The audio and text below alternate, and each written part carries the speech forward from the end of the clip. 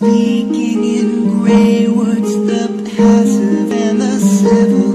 Now our love starts to burn like the night poet's candle. Eclipse the painful space between our lust driven bodies with our hearts pressed together.